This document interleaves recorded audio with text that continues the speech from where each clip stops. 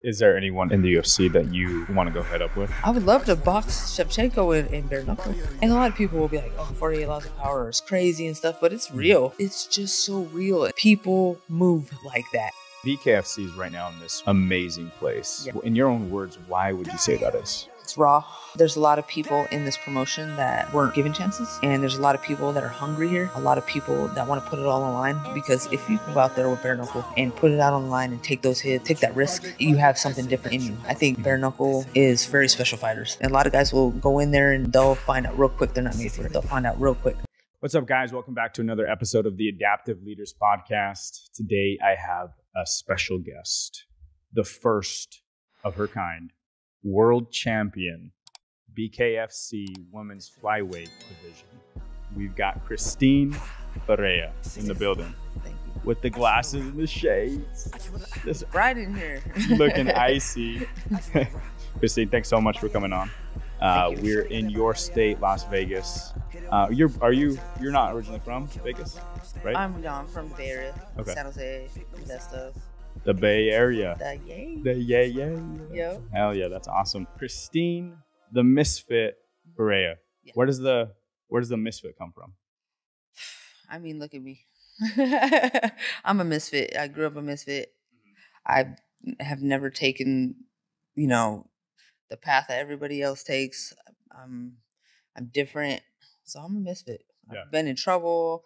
I've been been good. I've crazy hair or different hair, shaved head, tattoo on my head. You know, so I'm just a misfit, and and it's hard for me to be good you know i have to try to Mhm. be good Yeah. so I, I just i just want to represent for the misfits and you know we can be successful we just got to be a little try a little harder Yeah, I love it. I mean that that that takes you back to the quote, right? It's the misfit, the rebels Right. that end up changing the world and, and making shift happen. Where did that not serve you? You know, let's let's take it back, right? Yeah. Your upbringing. Where did that not serve you? The Bay Area historically isn't the, the best place, right? yeah i mean it, i guess anywhere you go can be you it is what you make it right so Right. i just chose a different way um the bay area could be beautiful and it is dope and there's a bunch of cool people california northern california southern california it, it's they're dope people fun like to party like to chill have fun and there's the other side of people you know that we get kind of crazy too um uh, well, it didn't serve me in ways where I, you know, I, I was at that point where I was a lot younger. Just I did what I want, said what I want.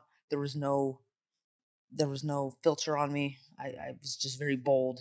Yeah. very bold in that way, and and it's good. It could be good because then you can you can teach people things and change you know bad habits in yourself and people in the world. But you know when you don't when you're on that negative path, you're doing the opposite. Yeah. So yeah, that that's what I did for a while, and and I just if I had a problem with somebody, uh, we're gonna fight. If Right. I have if you usually people if we- we have a problem, I'm not gonna be like you're an asshole. Like i'm just not gonna say that just because it's rude. It's Yeah. It's confrontational. Back then, that was not the case. I would just be like, "You're an asshole. You're a piece of shit. Like I don't like you. Whatever."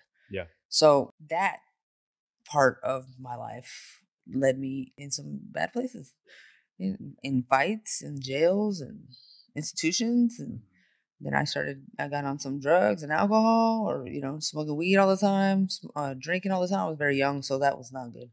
You know, I'm not even fully developed yet, and I'm drinking 40 ounces. You know, Yeah. Right. They're bigger than me Right. literally. So, um, again, there, then, I, and then I'm hanging out with older people that that are doing crazy things. I've been in rolling vehicles, stolen vehicles, almost died several times, and just a crazy life. Yeah. A lot, a lot of gangsters, hanging around a lot of gangsters, and just looking up to them, and you know, not knowing what that life led to and where it was going to take me and just it looks it looks uh, glamorous it looks fun but when you get deeper into it you just see how dark and messed up it is Yeah, one hundred percent. yeah So I, I'm I have a I'm a troubled youth too. I know you've said that before. Yeah. Uh, started dealing drugs at a young age. Uh, got in with uh, the gangsters and and the people that had multiple felonies. Right. You had a moment where you recognized that you know you're seeking respect, you're you're seeking credibility in this world, and then when you looked around, you said the environment, the people that you ended up making connections with, those weren't real relationships. Yeah, I was I was looking for respect and credibility. Mhm. I that I didn't know what that was back then, but that's what I was looking for. I was just looking to Street cred.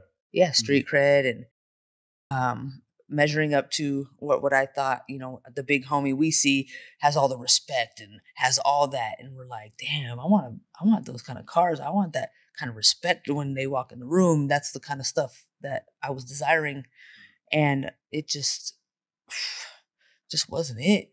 Just wasn't it and and um it's it when you're wh- when you're putting in work doing whatever you want to call it you end up in jail. You're next to all drug addicts that that can't even think for themselves. The people that don't have any future don't want have, have any hunger for success.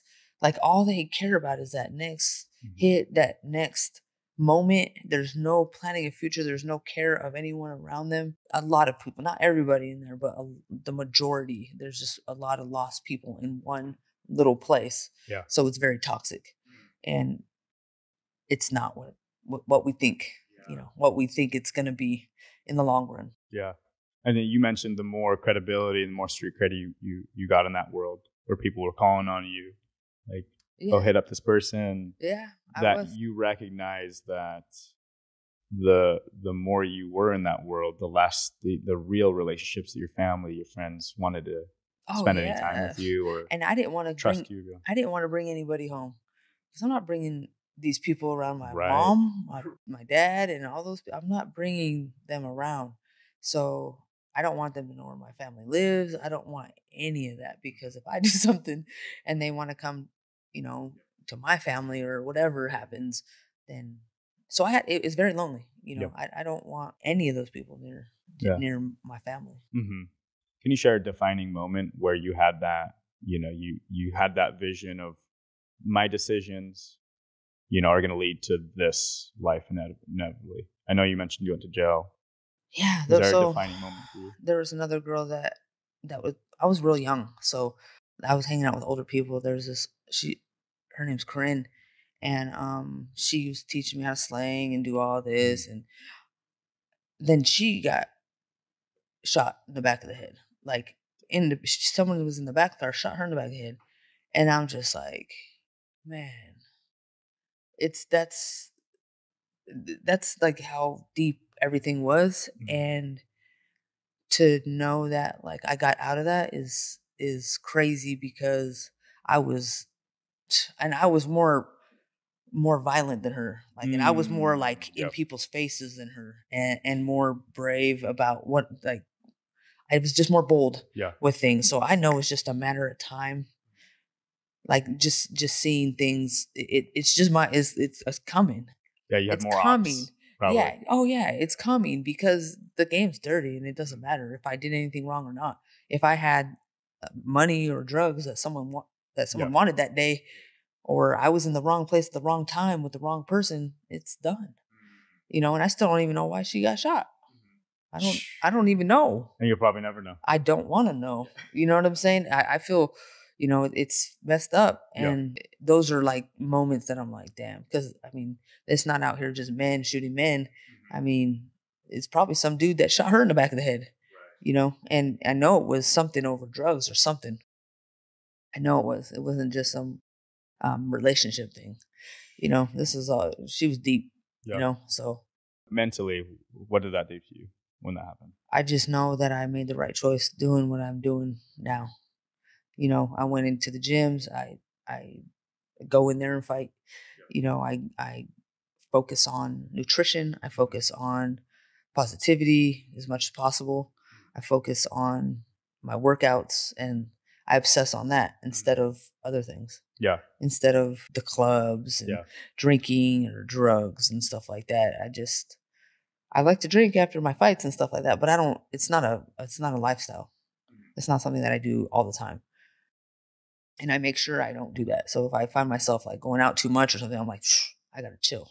Yeah. Like, cause I can be back to where I was in in an instant, or be in a in a bad uh, situation or in a bad place, just like that. Yeah, yeah, I feel that. And so, was there like what was the time frame from when you decided, hey, I'm no, I don't, I don't want to be a part of that life? Mhm. You know, like was there like a ten year period, fifteen years be, where you felt comfortable? Maybe like did you find yourself looking over your shoulder a lot, even even when you were in, that world, or do you feel like, I moved away.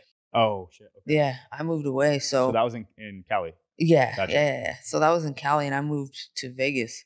So I didn't really have to worry about that too much. Um, I just kind of disappeared, left, left where I was. Just let, didn't say anything to anybody really. They, you know, we have social media and stuff. People know where you're at and stuff, but I didn't. I haven't had any problems. That's Um, awesome. Yeah. Yeah. I mean, a lot of people.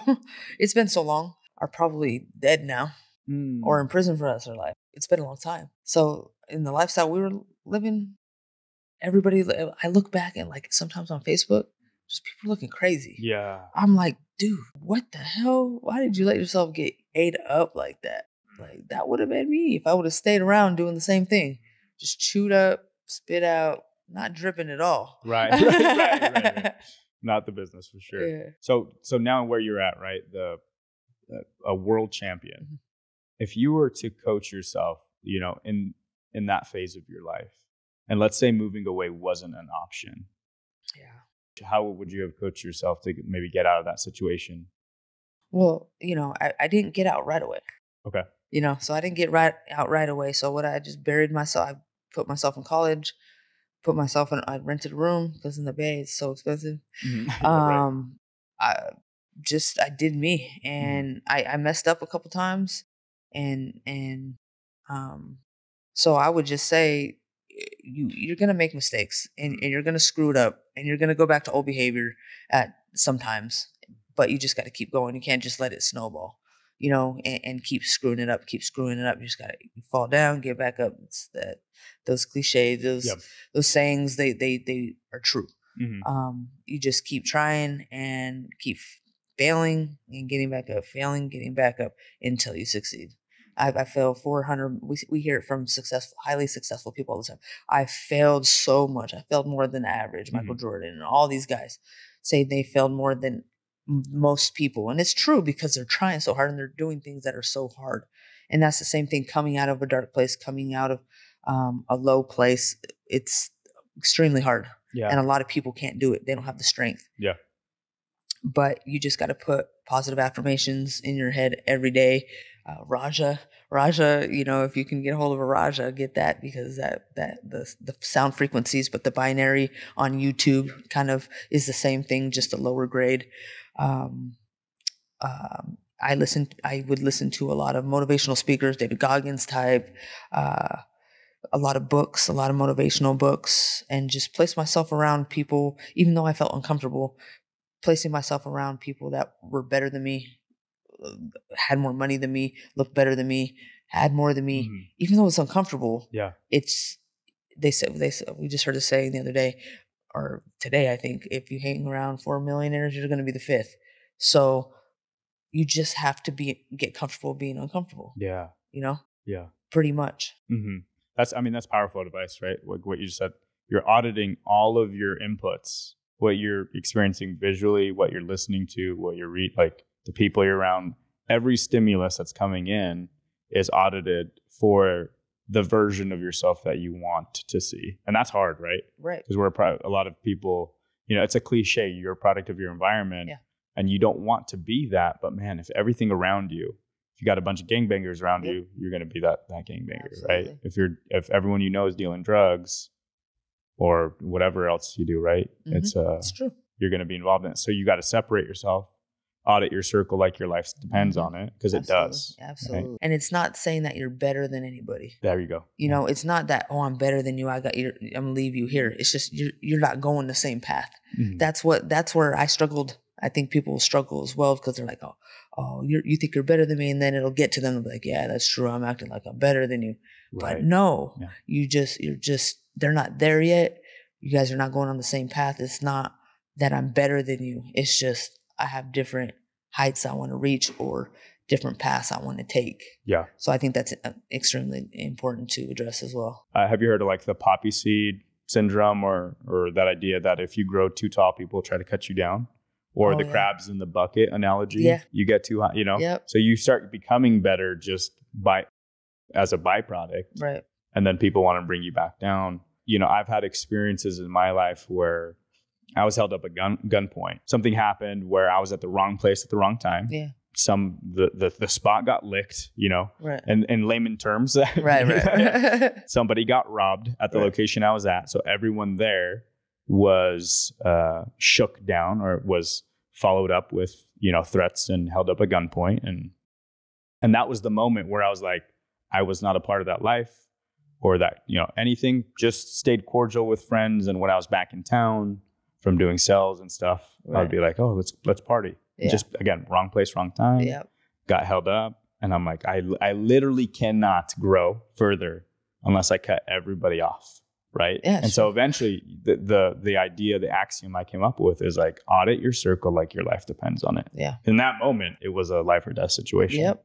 you know? And it could be that fast, it can be that fast. That quick. and you're like i'm i'm doing everything right you know to the to the to that circle of people that i was spending time with i was the life coach because i was the positive affirmation guy Yeah. like always had the bigger vision and the dreams Yeah. guy you know and so even in that moment didn't matter somebody got licked somebody got robbed for a, a good sum of money Mhm. so nobody was exempt from that situation and and so that's it's like uh, you want to finesse it and you want to give advice that doesn't make you seem better and we're not saying you but eventually you will outgrow the people if they're not growing with you right And everybody's capable of it. yes So Yes. everybody's capable. It's it's not my choice that you're not doing this.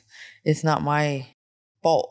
You are every human's capable yeah of achieving whatever they want mm-hmm. in life. It Wow. doesn't matter what it is. If we want to put in the work and we want to put in the time, we're, we can learn it and we can achieve it. yeah yeah that's a powerful mindset when along that journey did you find mixed martial arts i know you started with muay thai Yeah, I um started with Muay Thai. Then was that when you moved to vegas or before you- before I started over there, I started over there, and um, I I think I was there for like an uh, about a year or two in the Bay Uh-huh. competing Muay Thai, and then I moved here because I was just like, well, fighter, that's a fight capital.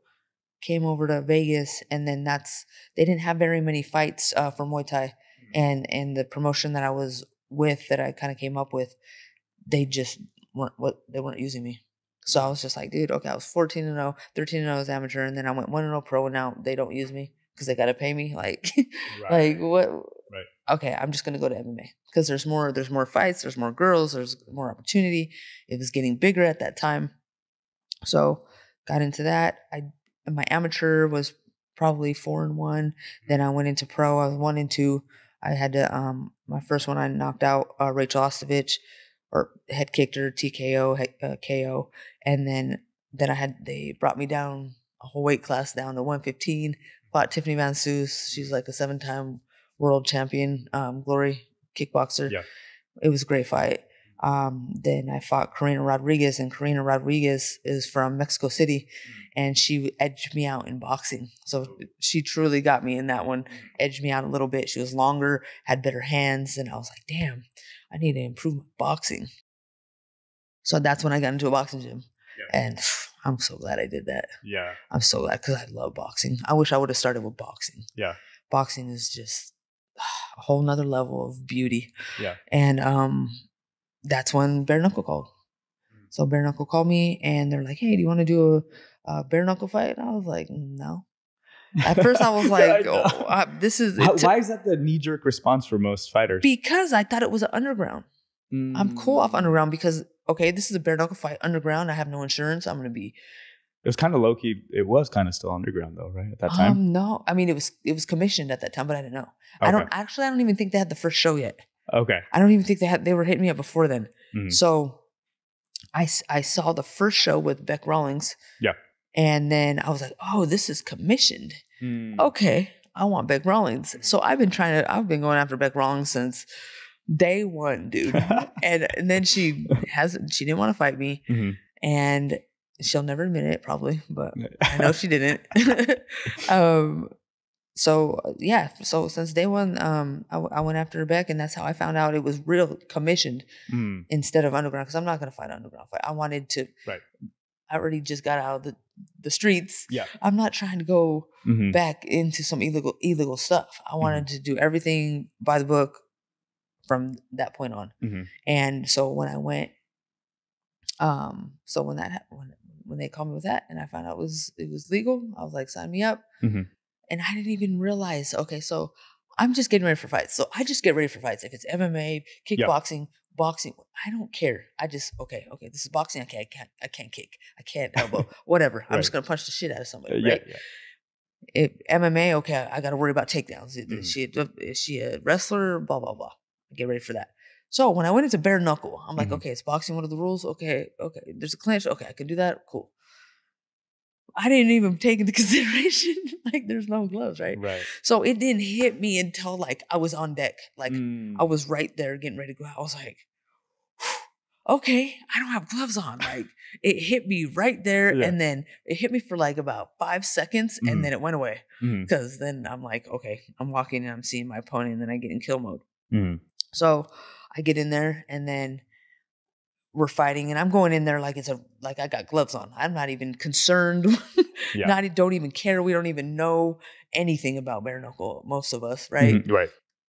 Um, so I get cracked. She was a southpaw. It was one. It was from uh, Nate Nick Diaz's camp. A Oh, girl yeah. I fought, uh, Mhm. Jennifer Tate, Mhm. and so she's southpaw. She hits me with the right. That was hook. your first fight. Yeah. Yep. My first fight. Uh, she hits me with the right hook. Boom. Took my vision, and I Oh, was like, shit. I've never been hit where I Mhm. couldn't see in a fight. So I just got low, and I was like, Holy shit, dude! I'm about to get TKO'd for the first time in my life Mm. and I'm you know undefeated Muay Thai fighter, and I've always been a really tough fighter. Mhm. Always went to decision, and if I lost, it was to, like a close decision Mhm. or split. And um, so I'm going through my head like, oh my god. So right when I get my vision back, that's when I wrapped up. Boom, boom, da, da, da, da, Yeah, yeah. da, boom. And um, yeah, she I knocked her out. So, but So where did where do you get that killer instinct, right? Because most people when they experience that, Yeah. they're they contract. yeah, It sounds like you were just dude, no. as soon as it came back on a switch. if I see blood or Uh-huh. if I get hit cracked hard, Yeah. I'm back up. Yeah. Like I'm like in your face. It's I don't know where it comes from. Hmm. I, I don't. I just have that crazy in me. I don't know. Mhm. A little, little, little bit of crazy in me. So you would mo- mom, dad, no, no one, no one comes to mind. Yeah, it may Well, come. my brother's kind of the same way too. So Okay. I don't know which one we get it from. hmm My dad's kind Could of just crazy. be in your DNA. Yeah. What What did your parents do? Um. Well, my dad's construction. hmm My mom, she's a very sweet little lady. um, but she does have fire in her. Mhm. She does have fire in her. I don't know. Wait, what's I'm- your What's your I'm ethnicity? I'm Native American, 'Kay. Hispanic, Spanish, and Native American, Hispanic. the other one it says Jew. Uh, But I don't Let's go. Yeah, I'm Jew. I don't know like is Jew even like a I don't, I don't know. Jewish? Yeah, yeah. Yeah, I'm Jewish. I don't know. You're part of the Billionaire Boys Club, though, Right. So whatever. I- I'm I'm waiting or for it. Trillionaire Boys Club, whatever. I didn't know. I thought it was Portuguese. So Uh-huh. when, I, when it said it was I was Jew, I Mhm. was like, okay.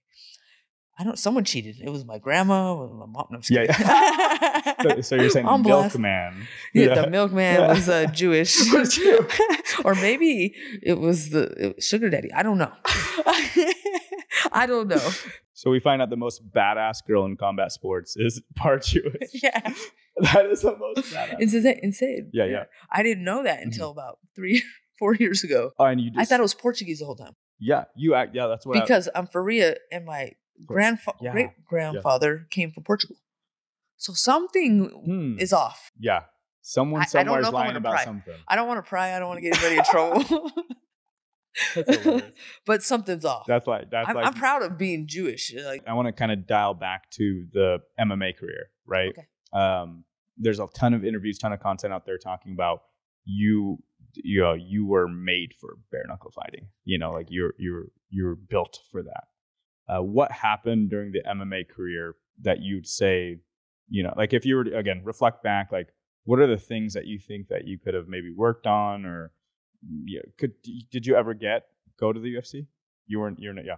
No, I did try out though. They turned away a Baron, yeah, a yeah, champion. they did. Dana, Dana, Dana. Dana. Yeah. Um, I didn't. My image and my marketing wasn't the best back then. Um, my fight style, I believe, was amazing. Mhm. I was. Am I? Was I the best? No, definitely not the best MMA fighter. I didn't. I don't. I don't enjoy the ground game. I don't.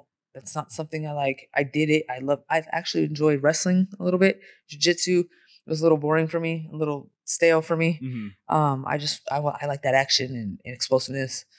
Um, I could have worked on uh, probably my marketability. Mhm. I didn't. I just didn't have the right people around me, the right people helping me. I wasn't in the right gyms. Uh, I didn't have the right team around me. I, if I probably would have had the right team, I would have been. It would have been way different. And those those 125ers uh, over there, and possibly maybe the 115ers, they they would have had a, a problem. Would you? say- Would is there anyone in in the UFC that you want to go head up with? right now. That I, mean, you'd I would love? Shevchenko. Okay. I would love to box Shevchenko in, in bare knuckle. yeah. I love her. Yeah. I'm a fan, but I would still love to, you know, toe line with her. I want to. I want to spar with her. I want to. I, I want us to work with each other. Yeah. But um, yeah, I would love to test myself against someone like her. She's she's she's great. Um, but there's not anybody. A, a lot of the time, I like to like pick somebody that I don't like. I just don't like the way she moves. Like, and, and then they just, just drill at it, drill at Mhm. it, drill at it. But Mhm. I mean, right now, there's nobody over there that I really dislike. hmm I just don't prefer MMA. I think it's boring. Oh man, yeah. If you were to tell me that before I went to BKFC 57, I would have been like, "What are you talking about?" Now I'm like, "Yep, uh, that's actually pretty accurate." yeah. Half the fights are But pretty I, I respect the athletes. I respect the fighters. It's just hard for me to watch unless I'm watching like a Shevchenko or like somebody that I really really like. But I can't just sit there and watch a card. Yeah. There's no way. Yeah. After, especially after bare knuckle. so when I when I meet you or when I met Jules and I see you and how you engage with people and how big your heart is um, outside of the sport, right? Just like your attributes, you're you're happy, you're positive. Where does that come from? I'm grateful. I'm just grateful. Gratitude. You know, I'm I'm very grateful when I'm in those positions. I've worked really hard and sacrificed a lot. And so when I when I have fans around or when I have people that like to see me fight or sponsor me or support me and it's just like, damn, you know, it's it's it's special. You know, it's special for people to do that, you know, and give you their time and their money just to watch you perform and do what you love and watch you succeed you know, for their, eh, I know they're entertained and they love that, but at the same time, they're supporting you. You know, there's a lot of people that fly in to watch me. There's a lot of sponsors that help me. Just a lot of people that support me, my family, my friends, and teammates and coaches, and it's just I'm just grateful. I, Yeah. A lot of a lot of people are arrogant about it, like, oh, I'm a Yeah. fighter, I'm this, I'm that. It's like, bro, without them, mm-hmm. you're nothing, dude. You're nothing. Mm-hmm. You're performing for them you know, and they are feeding your family, you know. So I think there should be a lot more appreciation to the people. Yeah, you definitely have a humility about you that's I would say rare for a world champ, for sure. So Tiffany Soest, so Yeah. a long time ago, when uh, I fought her, you know, and she was a six-time world champion at the time, and I was a nobody, right? Um, she reached out to me. She's like, "How you doing?" You know, she was just real kind to me. And you know, like in the MMA culture, they're not very nice over there, and um, I've never seen it really. Um, there's a couple people that were okay, Mhm. but you know, so when she approached me, I was just like, "Why are you even talking to me?" She like checked up on me through social media, like hit me up. Are you cool? Like, how's your heart doing? You know, and I'm just like, why are you even, you know, contacting me? Like, you don't even have to do this. Like, you're a world champion, successful, this, that. And she's just like, dude, you're, we're humans. Like, just human to human. So, like, when I seen that from her, that's that gave me my way to be able to give back to when I became a world champion. Because when you're a world champion and and to other athletes, they look up to you or they Mhm. see you in a certain light. So you really have a lot of um, influence on people, and and you can hurt people. Like Mm. you can hurt the, how how how they're building themselves. You can knock them down a Yeah. little bit easier.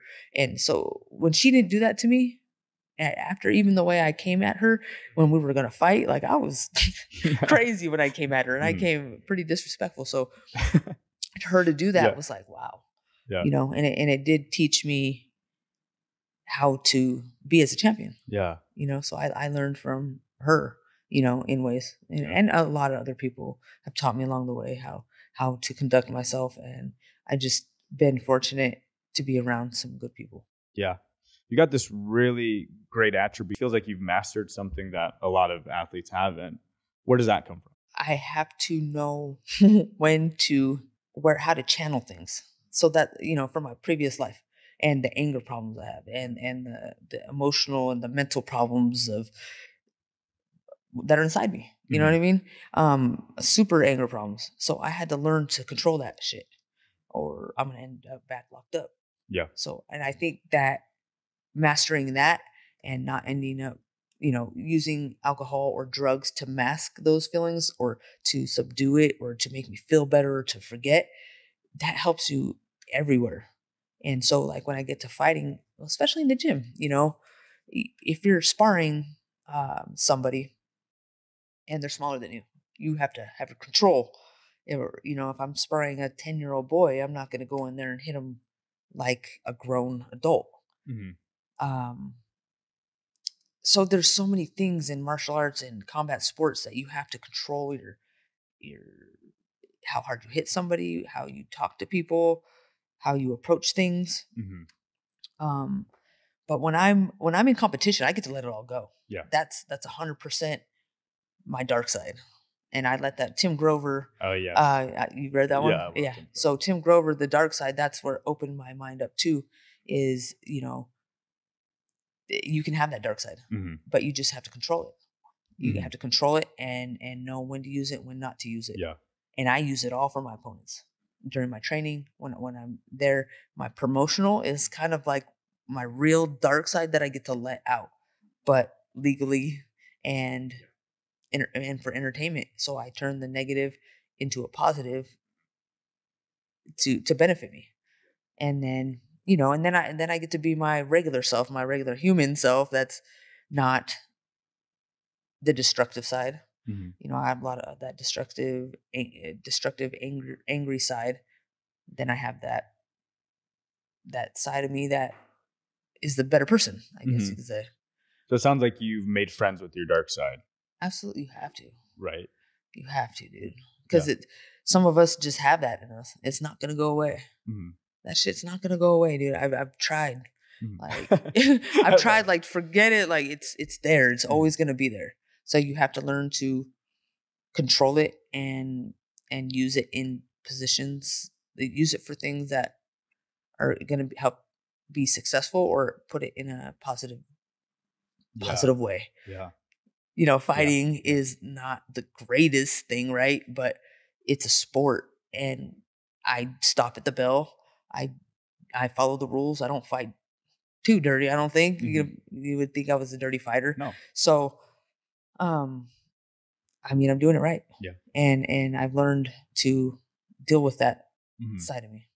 Well, the caveat is everybody has a dark side, right? Yeah, It's like, uh, and and for the audience, maybe just to conceptualize it, um, there's a public facing image that you want everyone around you to to assume is you, and then there's a a private facing image that most people don't experience of you, right? Right.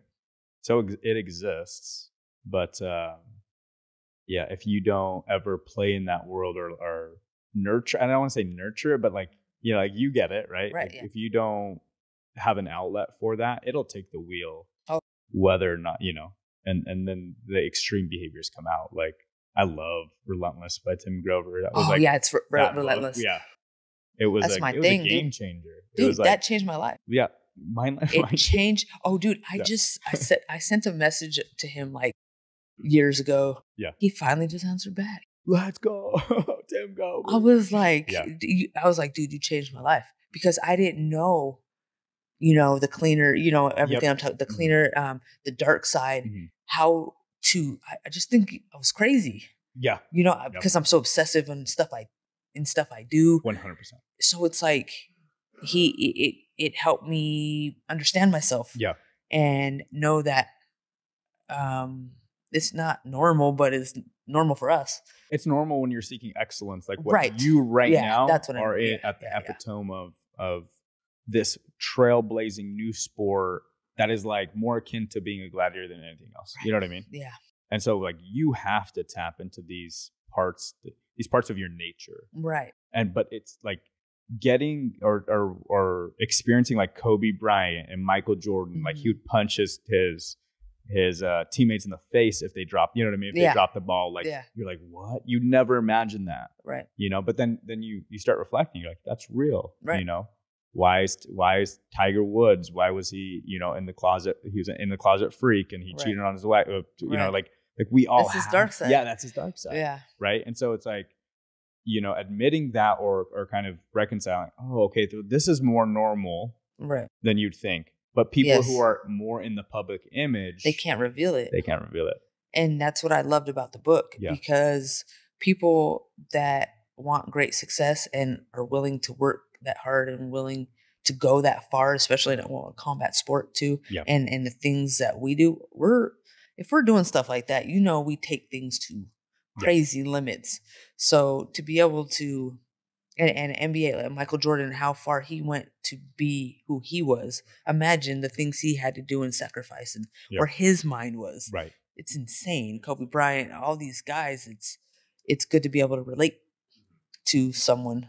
I, I'm not a Michael Jordan or a Kobe Bryant, but that level of thinking. Hey, and- don't and- sell and yourself short. Don't sell yourself short. Come on. But that level possible. of commitment mm. is what I desire, and I that I, burns me. That's amazing. So I love oh, that Yeah. book, man. Yeah. I mean, you're trailblazing and you are the women, you have the win streak in the women's division. So you have the record right now for most wins, right? In the women's I, division. I believe so. Yeah. Is that seven or eight in a row? Um, eight in a row. eight in a row. Yeah, Yeah. eight in a row. Wait, no, no. I just focus on the next fight. No, no, no. You're You good. Yeah, you're I good. just no, I just read a stat that you, uh, when you were on your six fight win streak, and I believe that was two fights ago. So that's why I was like, Okay, yeah, yeah. yeah.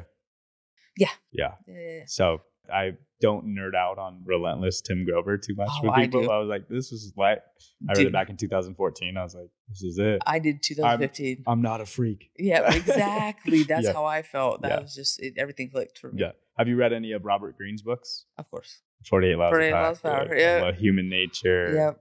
Oh, I love that, that That stuff. he has, and a lot of people will be like, "Oh, 48 Laws of Power is crazy and stuff," but it's Mm. real. Oh, bro. It's so real. just, it's just so real, and Yeah. that's how real shit is.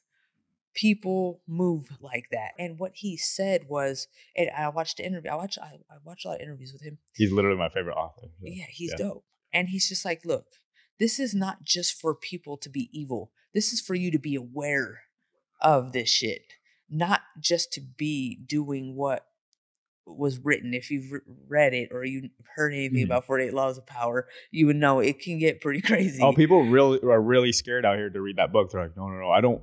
I don't believe in that type of world.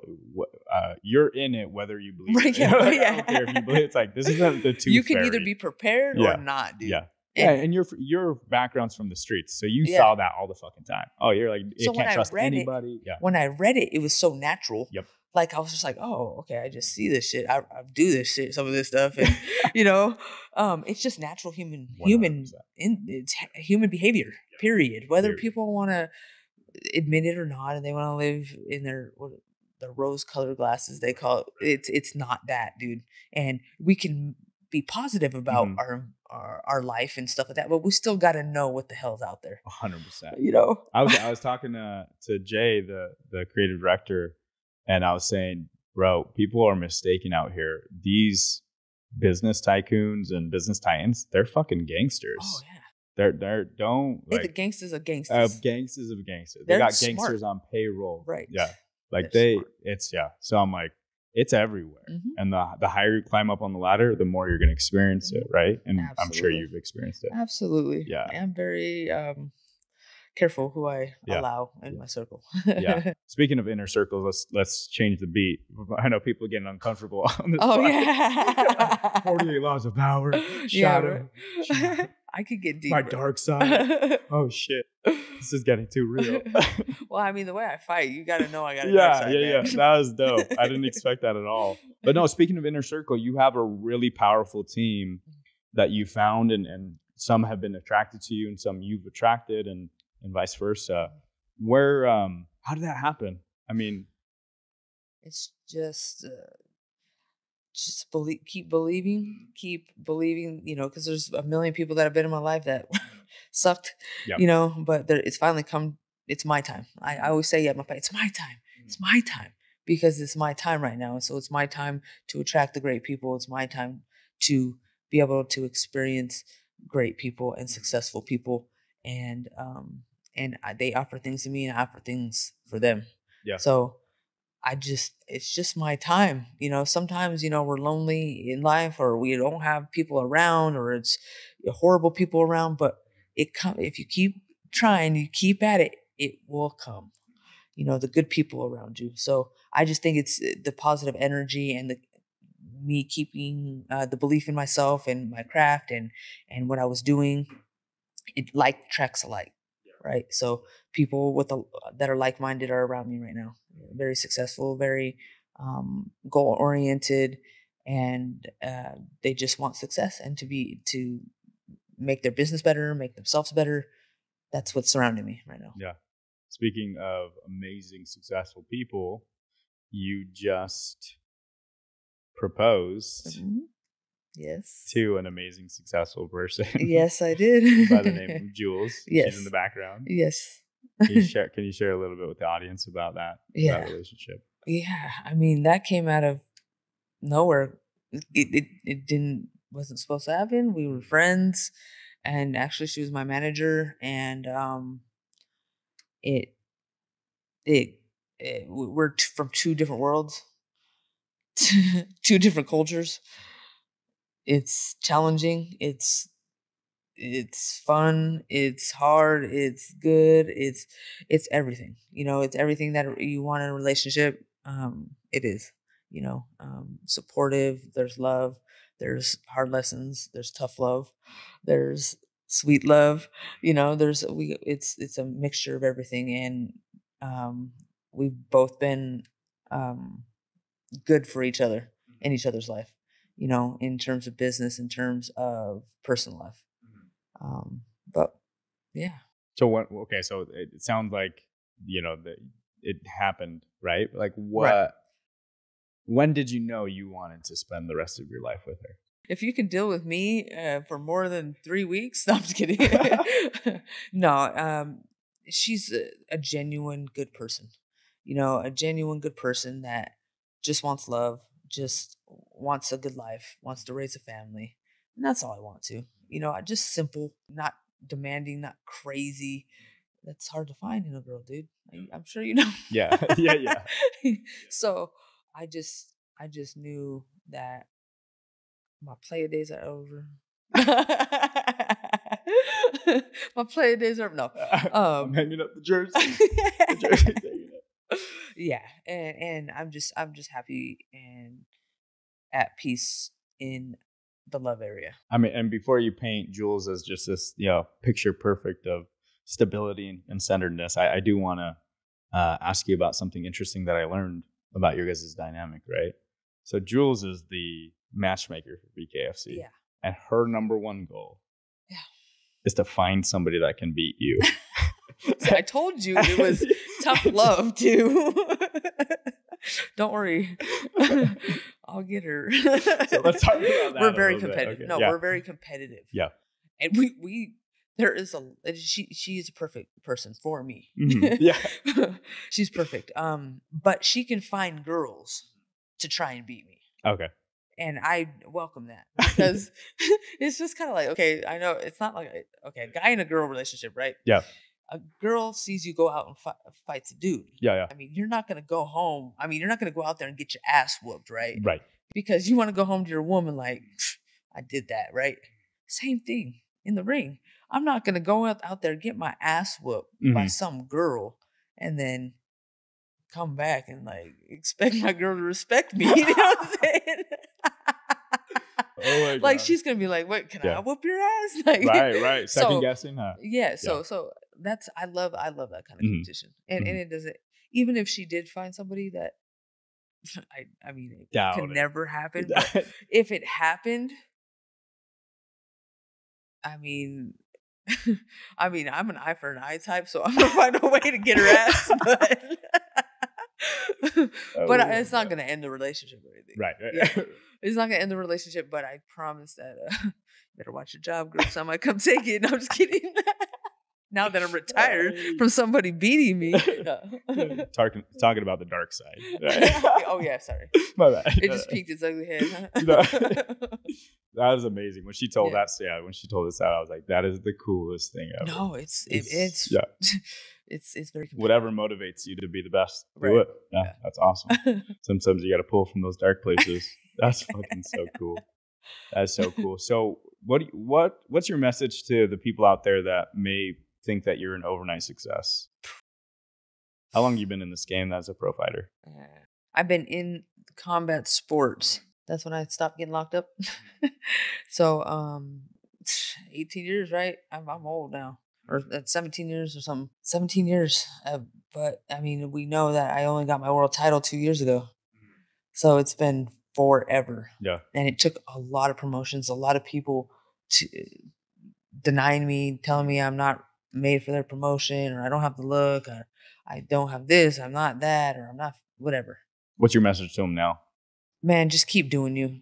Keep believing in you. If there's that feeling inside of your heart and soul that won't let you quit and you have no idea why and it drives you crazy, just keep going. Mm-hmm. Because that's what I did. I, I had no idea why I couldn't stop. Mm-hmm. I could not stop. I just kept following it, following it, following it, no matter no food, no couldn't pay rent, couldn't do this, couldn't do that, lost exes and couldn't see family members, sacrifice time. Just keep at it. Don't ever give up, no matter what. If it's that deep mm-hmm. burning, if it's burning that deep, and you'll know. You know what I'm saying? Eh, you can't give up on something that you truly have a calling for. So don't try. You're right. Because it's you're just prolonging the, the inevitable. Yeah. yeah, that's a that's so 15 years to stay motivated to get to where you're at. Yeah. Yeah. yeah, I don't, I don't know. I'm very stubborn. Yeah. I if I if I want something, I'm gonna get it. Period. I'm gonna find a way. I'm going to find a way. If you were to explain why because P- BKFC is right now in this really amazing place. Yeah. It's like it feels like everything has kind of been under the surface and now it's all just like a rocket ship, right? It's on the way up. Yeah. In your own words, why would you say that is? It's raw. It's there's a lot of people in this promotion that weren't given chances, Mhm. and there's a lot of people that are hungry here. A lot of people that want to put it all on the line because if you can go out there with bare knuckle and and put it out on the line and take those hits and and take that um take that risk because it's scary, right? Yeah. Um, you have something different in, in you. I think bare knuckle is very special fighters. We're we're very special, you know, and we, we like to put it online. There's a lot of guys will go in there and they'll find out real quick they're not made for it, or girls, they'll find out real quick. But the ones that are made for it, we're out there to put on a show Mm-hmm. and put it on the line. We're not going to all have perfect performances every time, but most of us are out there to shine.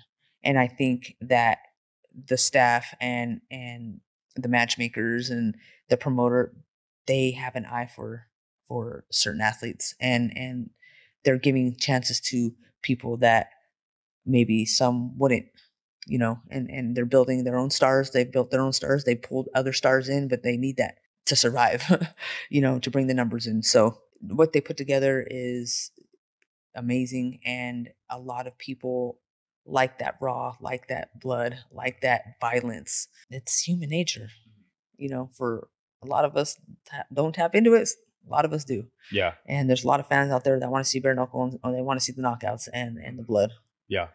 so I, I think it's just gonna it's gonna take off even more and more, and the more skilled uh, as we we get as built uh, bare knuckle boxers, the better the fights are going to be because you have to be smart. Yeah. You have to be smart. And, and what the promotion wants, they want really exciting, violent fights. So they tell us that. They're like, hey, go out there, fight your ass off. And if you don't, you're not coming back. Oh wow. You know, Yeah. you're not coming back. Yeah. So it's a little bit of fire Mhm. to get us out there Yeah. to fight.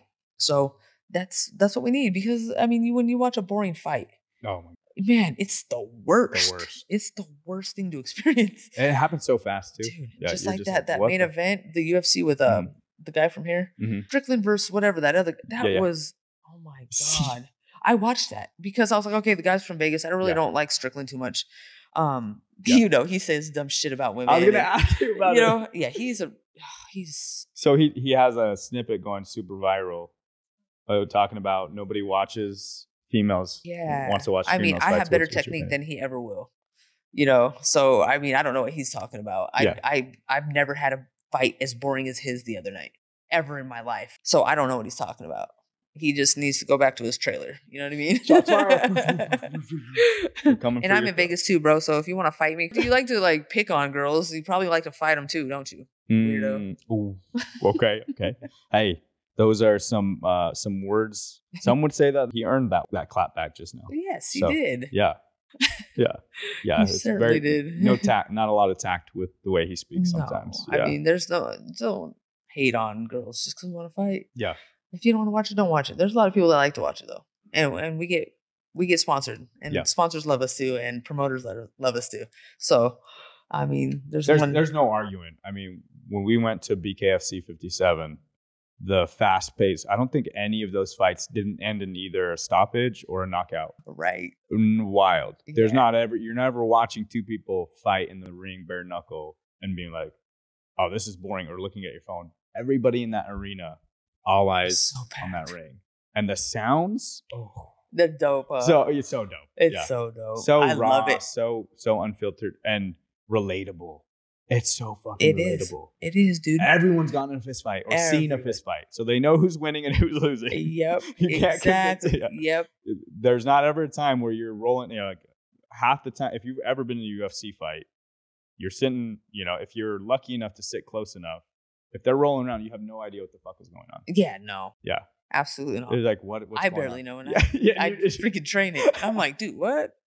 and so Why is he sniffing his So you're ass? telling me I No, need a, I need an education. I need a PhD in jujitsu, a PhD True. fucking grappling. True. I need to spend ten, you know, ten thousand hours to learn what they're doing on that mat to be entertained by it. I'm good. you know? yeah, no. So for people, sure. yeah, people Yeah. just want simple. they Well, want to drink some beers and get on and, and watch some people beat each other. Oh my gosh. Bare knuckles, where it's at. There's, I've never seen so much blood on a mat. Yep. It's amazing. So there's another part of, of bare knuckle that a lot of people aren't. It, there's like an education piece, right, where you're trying to educate the audience. Although it looks more violent, can you speak a little bit to how actually it's safer than boxing and MMA? Yeah, so I mean, we're not taking kicks to the head. We're not Mhm. taking knees. You know, um, we're not. There's the blows we can only take. You can't take 50 bare knuckles to the dome piece. Yeah. You're either gonna get cut or you're gonna get knocked out. you know so the damage it's aesthetic yeah you get you're getting cuts and stuff like that i don't care i got my war wounds i'm a fighter i don't care that's i, I know that's going to happen yeah. but what i really fear is like the inside of my brain i want to be able to remember my my future wife i want to remember her name i want to remember my name i want to remember my parents and my brother um and i believe that like boxing and and mma just it, that's covered to cause more damage and Mhm. that's inside damage so you don't get cut as much and, Yep. and you can take more blows and the, the gloves are bigger so it it has more impact on your brain and um bare knuckles it ends too quick Oh yeah. you can't sit there and take as much as you can in a boxing or an MMA fight um it it's it's simple math Yeah. I mean, and if you think part- about it there's a part right with with boxing bouts being so long, a fighter can get knocked down five six times in boxing. yeah yeah Yeah, they're- longer, right? yeah So longer time, more time. yeah the there's mat. longer time And so when you get knocked down, and when you when you're in between that phase of consciousness and unconsciousness, that's when your your brain is more susceptible to damage. So when you get back up for a ten count, and then you fight another, you know, nine rounds or eight rounds, you get more damage to the brain, right? And so, and we're speaking to this, and I know you've been a part of an interesting study, right? With the neuroimaging, they they've been scanning your brain, your for about different seven years. Yeah, Seven years. What is that? It's um Cleveland Clinic. Uh, it's called the Fighter Program. Mhm. So they came to me a lot. Somebody came to me a long time ago and said, "Hey, do you want to do brain scans and you want to make a, a couple hundred bucks?" Or I was like, "Sure." Yeah. I had no money. Right. I was like, "Definitely want to do that." so I went in there. Then I found out that you know they scanned my brain uh, year after year, or they offered it year after year to see the damage on fighters. So I was just at first I did it for the money. I was Yeah. like, yeah, I need that hundred or two uh, two hundred bucks, and um, then I was just like, oh yeah, I want to be part of this study. You know, I want to be a part of being able to you know have data for future women Mhm. because they don't have that much on women. There's a lot for men, but there's not as much for women. So over the years, uh, I, I'm seeing if I'm declining, and and if my cognitive and all that stuff is getting worse by the year. But I, I'm doing okay so far. I go this February something for this year, so I haven't seen this year yet. But uh, the prior years, I've actually gotten better, and I think it's less damage. Less That's damage. I sense bare knuckle, and I Yeah. swear, Yeah. if people want to inquire, Yeah. I have the data from Cleveland Clinic that my cognitive and everything's getting better.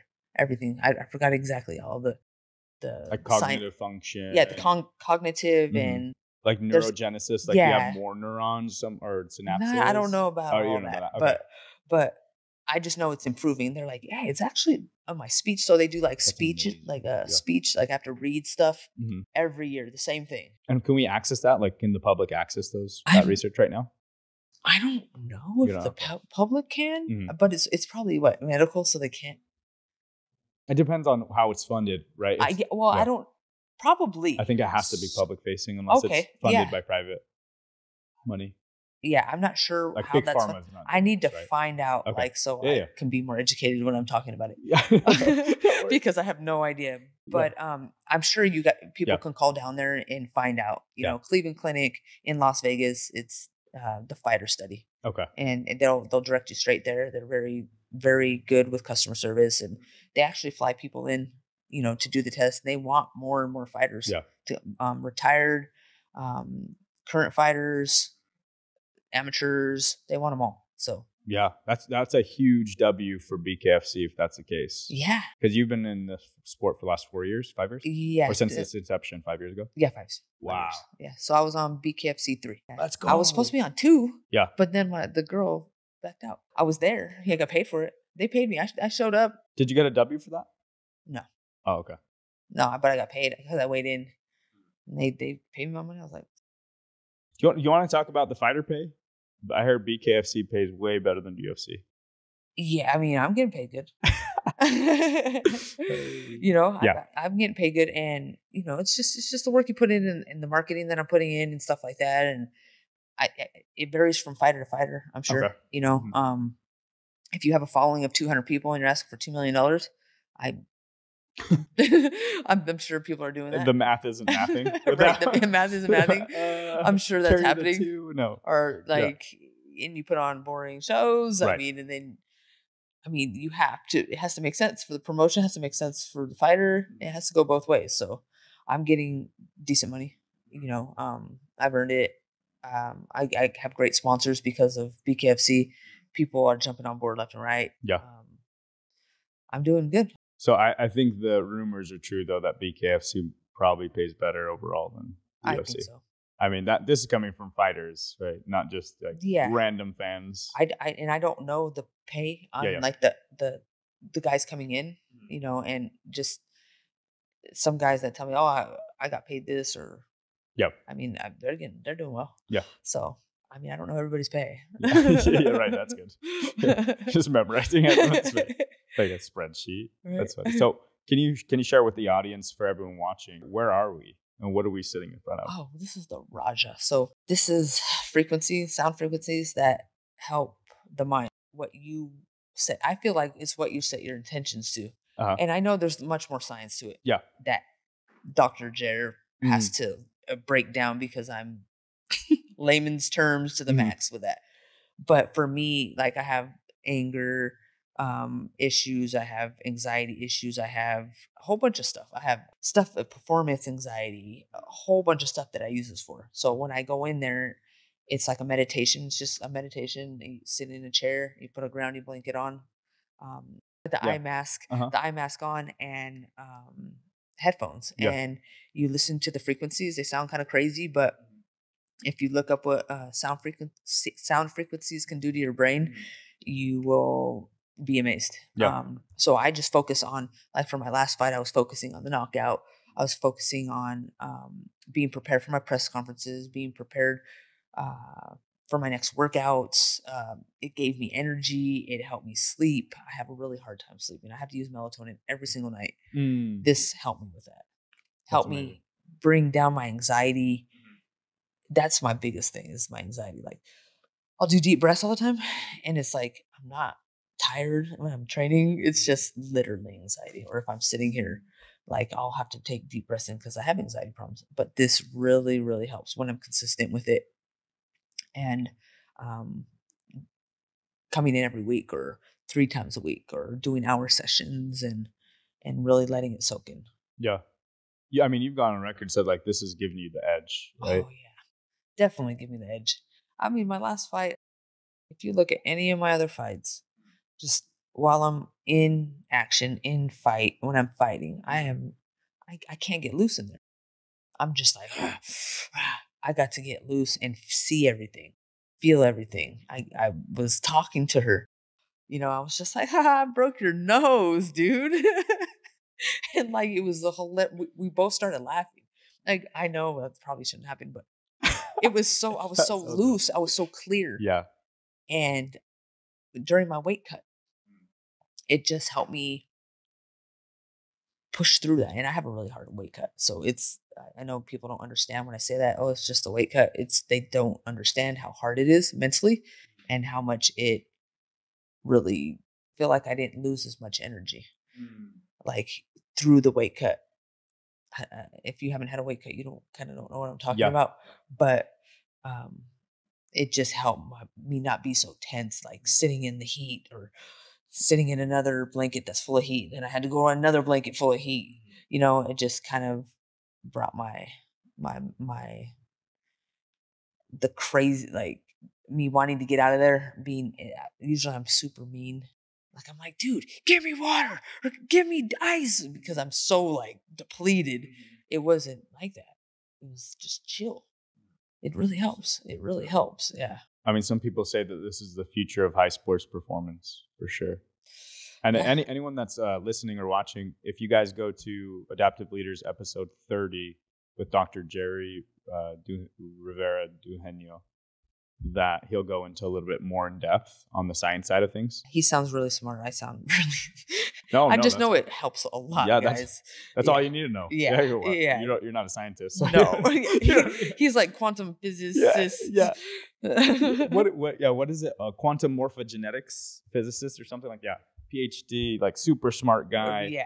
his uh his content his clips of him talking about 369 and and base 12 mathematics Yes. even tiktok is going crazy they're going nuts over it you got like a million five views on him talking about base 12 mathematics which is what this frequency machine Yeah. is built off of so I'm just a consumer. yeah yeah, it sounds really interesting, but uh, and I tried it, and it, it really does. I, at least the the version or what he inputted in there Yeah. before we went in there.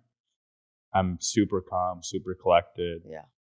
almost too centered. You know, where I'm like, what questions was I going to ask again? Because I'm, you know what I mean. I, I do a lot of prep before these. And Yeah. Like, oh, let me look at my phone. You know, I was just like, where am I? Yeah. When I came out, it was only 15 minutes, so it really works as a role model to so many young uh, women out there. What's some advice that you'd give the next generation of women, whether they choose combat sports or not, just in general? What maybe lessons or piece of advice can you share with them that you've experienced? Like you're at the top of your your game right now. It's it's just to humans, right? Or just to everybody. Just like be open minded and easy on yourself, but hard on yourself in ways of like be hard on yourself when you're uh, trying to achieve and you're trying to get things done. Don't don't give up on things. Um, be easy when you screw it up. You know, to get back on. Never give up, and just that's my main thing is just don't ever give up because there's a million times I want to give up. A million times that I was on the streets, I want to give up. A million times in this um, endeavor, this combat sports journey, I just was like, what the hell am I doing? People looking at me like, you are like in a, all you're doing is an, an expensive hobby, you mm-hmm. know, and, and this is not a career. This is a, a hobby for you, you know, and just being looked at like I'm crazy, like I, I'm making the wrong decision or I don't know what I'm doing.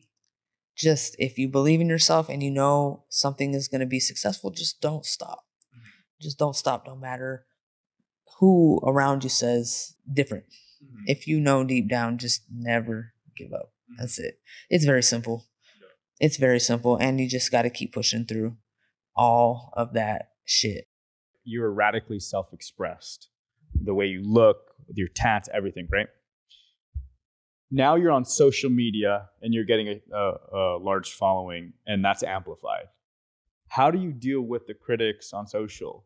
Or do you deal with it? You know, because that's like a if if no one has ever experienced what it, it is to get a million eyeballs on your content or on, on you as an individual and have a direct line to just like comment whatever the right. fuck they want. Yeah. Like, like it gets crazy sometimes, yeah. dude. I'm like, whoo, yeah, you don't like me, bro. like, damn, like, whoa. When I was younger, it used to bother me more. Mm-hmm. Now I'm I'm just used to it. You know, I just I've had everything said to me. Everything said to me positive and negative. I have more positive than I do negative. Um Thank now. God, that's yeah, now. Yeah. Well, at the moment. Yeah, maybe, at the maybe moment. at the moment it does go in waves. Yeah. so um I just sometimes some guys I'll hit up like some guys that are haters are like, oh, you want to be a man and all this shit. And I'm like, mm. bro, I'll be like, bro, why are you why do you say that? I'll I'll just mm. say something. I don't know exactly. I'll say something to, like uh, something to them, mm. and I swear they'll end up in my inbox like, "I'm sorry, dude.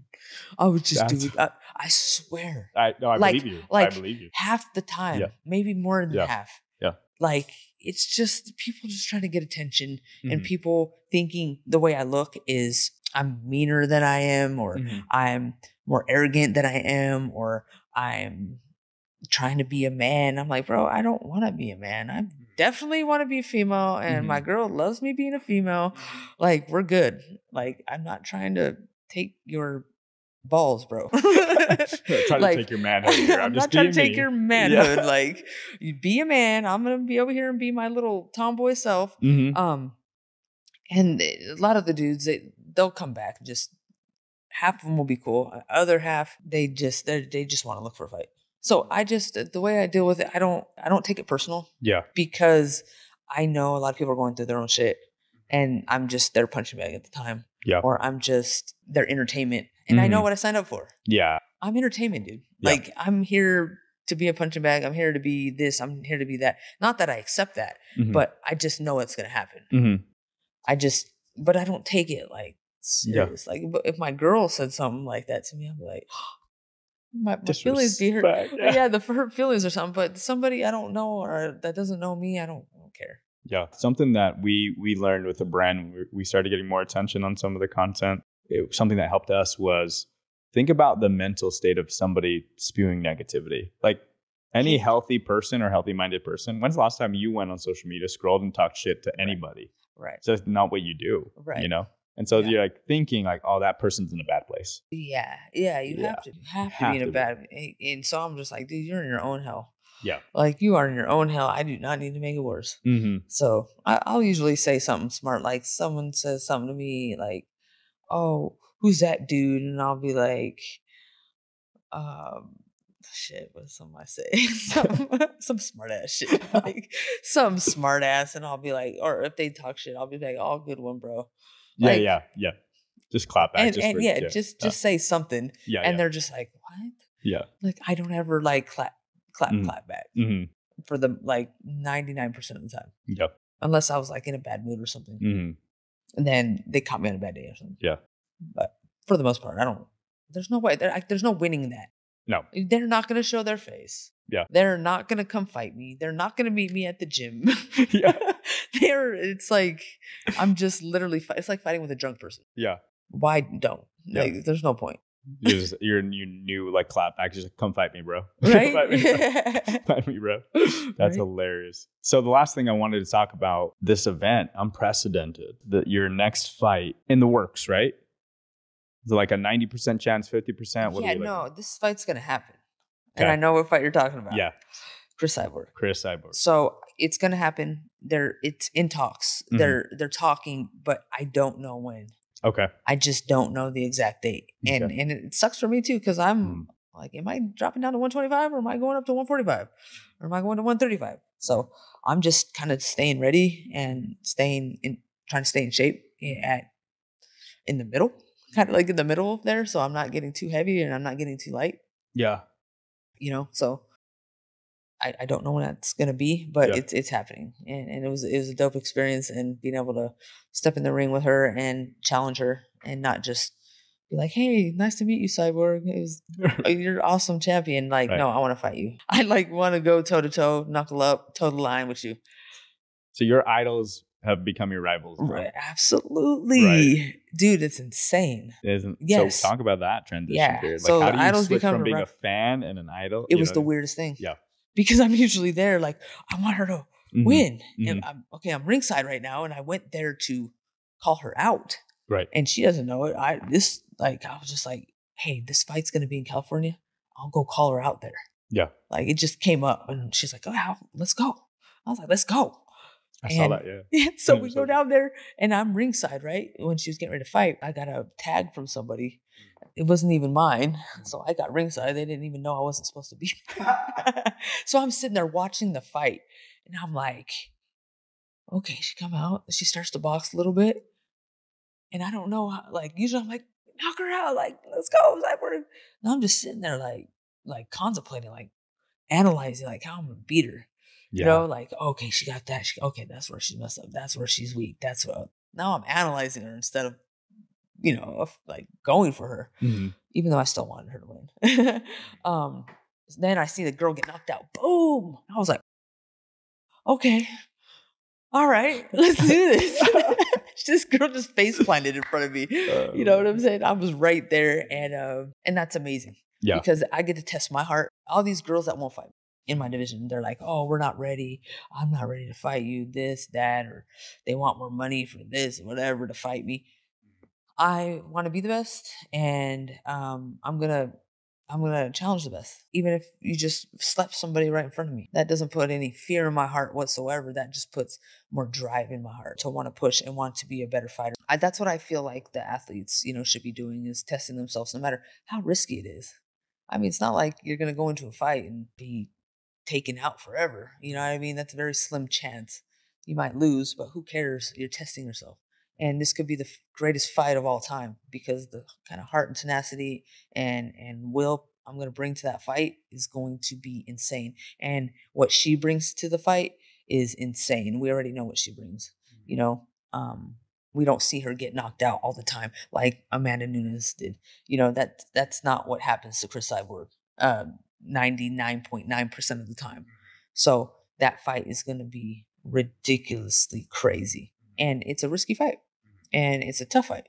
But it's something that will um, I'll be able to live with forever and know that I did and, Yeah. and I faced and um, I tested myself against the best and the scariest girl on the planet. So that championship mindset is is what I call it, right? So most most fighters and their team, they're like, we got to calculate the perfect path for you to maybe get a chance at a shot at the belt, right? Or to to have the belt.